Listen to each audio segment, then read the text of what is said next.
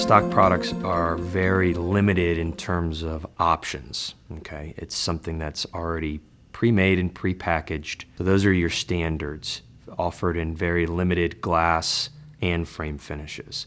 Also limited in sizes and heights. So no opportunity to completely customize that, that style of product. Generally, a stock product is used um, in a fiberglass or acrylic shower stall or tub, usually in secondary baths, basement baths, things of the sort, or in instances where adjust, a lot of adjustment is needed uh, for the product. And in terms of uh, fully customizable product, we're talking about making custom specifically to the opening, custom for you.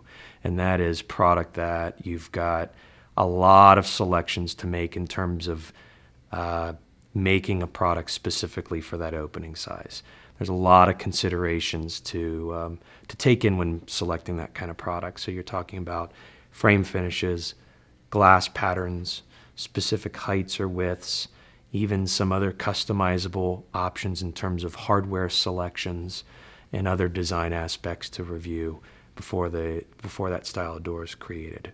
Things to consider when choosing custom product uh, will vary from bath environment, size, space, um, conditions inside of the bathroom that might, um, might affect your selection, frame finishes, um, glass options, hardware selections, all these things can be very complementary to the look or design of the bathroom there.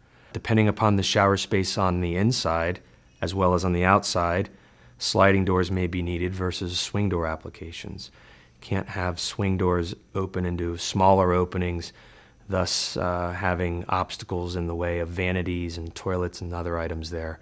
And then lastly, we've got hardware selection to complement what's in the rest of the bathroom.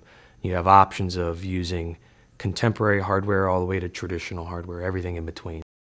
With Basco, you'll never have to worry about the custom enclosure ordering process because we offer a turnkey solution from measuring to ordering and all the way through to installation.